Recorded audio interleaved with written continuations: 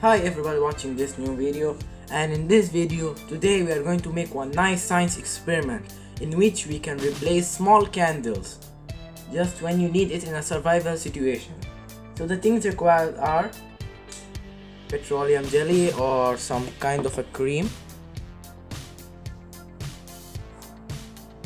and you need the earbuds or whatever you call them for cleaning your ears yeah. That much only. Nothing else. So let's start.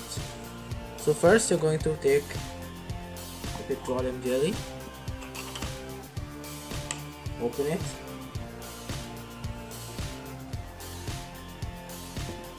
Take from inside just like this see? Like make a nice bulge or a small like balloon made up of the jelly. And as we know that jelly is made up of petroleum products which can catch fire fast and help us to make a small like candle. Just in when there is no light or something like that. And here you have it. This much only. Safety is number one. When using it don't play with fire kids. Take other supervision this is done in professional's lab here's the fire? Catch on fire.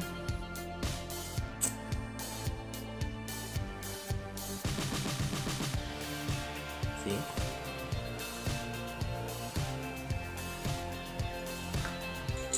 How cool is that? How big is that flame?